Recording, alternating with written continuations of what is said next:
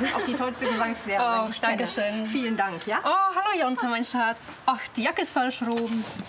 Das ist die Schülerin, die immer pupst. Wie bitte? Wie bitte? Bitte entschuldigen Sie. Das habe ich Was- nie behauptet. was hat er jetzt gesagt? Jonte, was soll denn das? Also, das geht ja wohl gar nicht. Das Das, sagt ich, ja wohl ein Kind auch nicht von selber, ne? ja, dieses hier schon. Bitte, das habe ich, noch- das habe ich nie behauptet. Also- das müssen Sie mir glauben, Frau Kremmer. Gesangslehrerin Maria ist die Situation äußerst unangenehm und sie fürchtet inzwischen sogar um ihre berufliche Existenz. Denn es war nicht das erste Mal, dass der siebenjährige Jonte lügt und seine Mutter in Bedrängnis bringt. Über die Schule hat die gebürtige Polin deshalb Kontakt zu Sozialarbeiter Mike Kalani aufgenommen. Jonte, kannst du mir bitte deinen Wochenplan zeigen? Ich habe ihn in der Schule vergessen. Wie in der Schule vergessen. Hm, Zeig mir bitte her. Ja, da ist er ja. Und du hast sogar alles erledigt. Wieso flunkerst du denn? Ich gehe jetzt spielen. Ja, wir spielen, gleich kommt der Familienhelfer. Der steht sogar längst vor der Tür, klingelt aber nicht. Denn ohne es zu ahnen, kommt auch Mike Kalani direkt mit der nächsten Lüge seines siebenjährigen Schützlings in Berührung. Ja, guten Tag. Guten Tag, Frau Jelinek. wie Wieso geht's? klingeln Sie nicht? Ja, ich habe das Schild gesehen, deswegen habe ich Oh, mir was ist gedacht, denn das für ein Schild? weil das Baby schläft, dass ich nicht Oh, wir haben muss. doch gar kein Baby, das muss doch ein Irrtum sein. Ach so, okay, gut. Ach, das war mein Sohn, das ist Jonte. Ja? Deswegen habe ich Sie angerufen. Kommen Sie bitte rein. Okay. Ich bin heute hier, weil die Frau Jelinek mich gerufen hat, weil sie ein Problem mit ihrem Sohn hat, dass er momentan sehr viel am Lügen ist. Und ähm, sie hatte mich gebeten, herauszufinden, was der Grund dafür ist. Ja. Können Sie mir denn vielleicht sagen, seit wann das so ungefähr ist? Ist da irgendwas Bestimmtes passiert? Es ist was vorgefallen in Ja. der offenen Ganztagsschule. Okay. Äh, Und zwar, äh, zwei äh, Schüler haben einen OGS-Betreuer in Klassenzimmer ausgesperrt. Und, Mhm, okay. ja. und irrtümlicherweise hat mein Sohn dafür Ärger bekommen. Ach so, ja, okay, genau. gut. Ich hatte ja schon mit dem Herrn Bogner gesprochen gehabt. Ach, Sie haben ja über Bonner gesprochen. Ja, genau. Und der sollte eigentlich jetzt auch schon jeden Moment hier sein. Den Betreuer habe ich hierher bestellt, weil ich ähm, sehen wollte, wie Jonte auf ihn reagiert, um aber auch nochmal von ihm herauszufinden, wie er die ganze Geschichte wahrgenommen hat. Hallo, Mathis. Ah, Mathis, okay. Mein Name ist Mike. Hallo, freut mich. Ja, können Sie mir vielleicht oder kannst du mir äh, mal ganz kurz sagen, was dann passiert ist in der Schule? Wie Gesangslehrerin Maria schon erwähnte, hatte der OGS-Betreuer Jonte zu Unrecht verdächtigt, ihn im Klassenraum eingesperrt zu haben. Betreuer Mattes hat sich zwar längst bei dem Jungen dafür entschuldigt, dennoch möglich, dass dieser Zwischenfall der Auslöser für die ständigen Lügen des Erstklässlers war. Sag mal, weißt du eigentlich, warum ich hier bin? Äh, wegen meiner Lügen. Genau. Kannst du mir sagen, was da so passiert ist? Warum das so ist momentan bei dir? Weißt du das? Weißt du das nicht? Oder du willst mir das nicht sagen? Willst mir nicht sagen? Sag mal, wäre es für dich in Ordnung, wenn ich den Mattes hier reinhole in das Zimmer? Wäre das, wär das in Ordnung für dich? Ja? Dann ruf ich den mal, ja? Alles klar? So, lieber Mattes, würdest du mal ganz kurz dazukommen? Oh nee, echt jetzt. Oh, was ist denn jetzt los? Dass der Siebenjährige die Flucht ergreift, wirft neue Fragen auf. Der Sozialarbeiter schafft es zwar schließlich, den Jungen zurückzuholen, erlebt aber prompt die nächste Überraschung. Ich wollte mich noch mal bei dir entschuldigen, weil es tut mir wirklich sehr leid, dass ich dich falsch beschuldigt habe. Es war doch nicht so schlimm. Warum redet ihr ganze Zeit darüber? Ich war sehr überrascht, dass er das alles so unter den Teppich gekehrt hat und dass er einfach gesagt hat, dass es nichts mit dem Mantis zu tun hat. Und es hat für mich bedeutet, dass da irgendwo anders ein Problem ist. Und das gilt es herauszufinden. Denn bis vor drei Wochen war Jonte ein fröhlicher, aufgeweckter Junge, der gerne zur Schule gegangen ist und vor allem nicht ständig gelogen hat. Mai Kalani probiert noch einmal mehr vom Siebenjährigen zu erfahren. Meine Güte, ich dachte eigentlich, dass du mit ihm ein Problem hattest, aber hattest du eigentlich gar nicht, gell? Okay. Hm. Sag mal, wie sieht es denn eigentlich aus in der Schule? Hast du da viele Freunde? Nein, Du hast da keine Freunde? nein. Aber der Mathis hat gesagt, dass du sehr beliebt bist und dass du viele Freunde hast.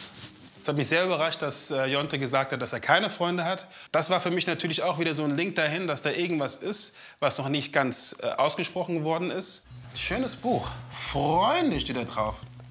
Das besondere Erinnerungsalbum. Aha. Wollen wir mal gemeinsam reingucken? Beziehungsweise darf ich überhaupt da reingucken? Ja, darf ich? Gucken wir mal gemeinsam rein. Also, mal schauen, was wir hier finden. Guck mal, Jonte, was ich jetzt gerade hier entdecke. Rasmus.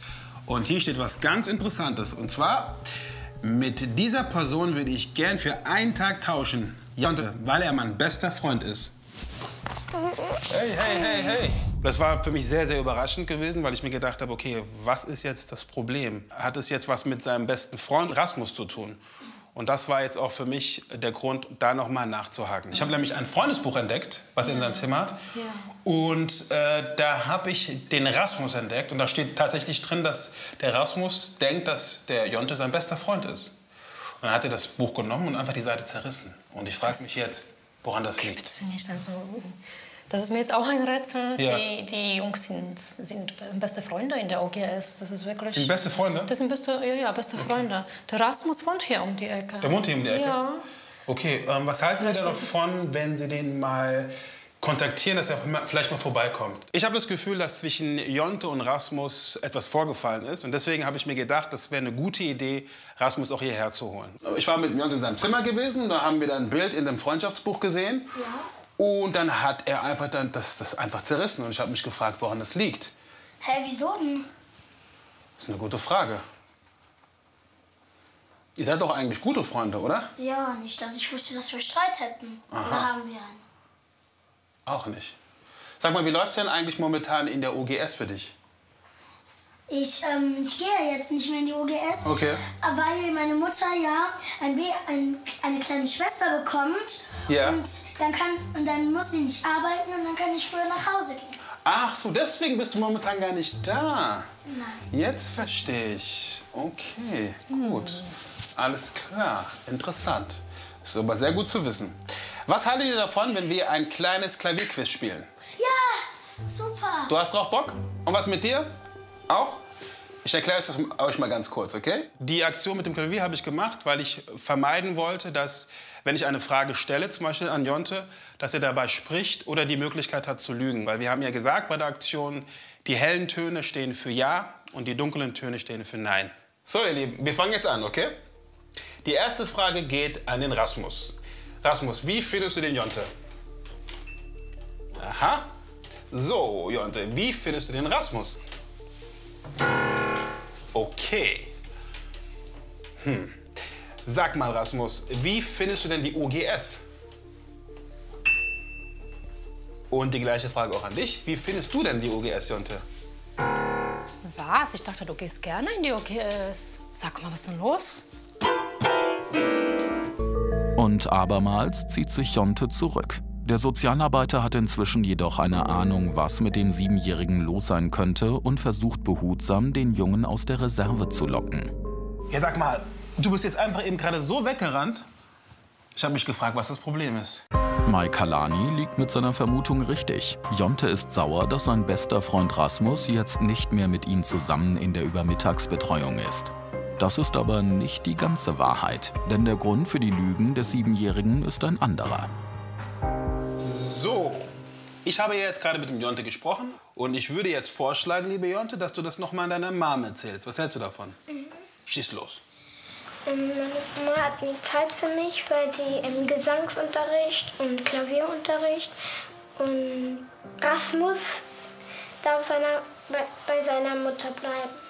Aha, okay, gut. Das heißt also, ich habe jetzt tatsächlich das Gefühl, dass ähm, der Jonte ein bisschen eifersüchtig ist, beziehungsweise aber auch sich vernachlässigt fühlt. Ich hatte das Gefühl gehabt, dass äh, Jonte deswegen gelogen hat, weil Rasmus nicht mehr in der OGS ist und ähm, er natürlich sein bester Freund ist und ihn da natürlich dann auch vermisst. Und weil natürlich der Rasmus mit seiner Mutter sehr viel Zeit verbringt und das ihn auch eifersüchtig macht, weil er natürlich auch viel mehr mit seiner Mutter Zeit verbringen wollte, was momentan nicht stattfindet.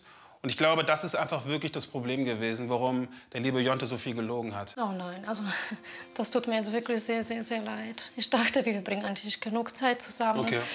Äh, ja, ich werde auf jeden Fall die Stunden reduzieren müssen und das mache ich wirklich gerne, weil die Zeit mit dir ist ja das Allerwichtigste, mein Ganz Schatz. genau. Ja. Ja. Super. Wir nehmen uns richtig viel Zeit für uns. Was hältst du davon? Wollen wir auch zusammen kochen und spielen? Ja? Komm mal her, mein Schatz. Oh. Mittlerweile gönnen sich Mutter und Sohn einen Tag in der Woche, der nur ihnen gehört. Außerdem ist auch Jontes bester Freund Rasmus zurück in der Übermittagsbetreuung und die Jungs haben viel Spaß miteinander. Die Welt des Siebenjährigen ist wieder in Ordnung, ganz ohne Lügen.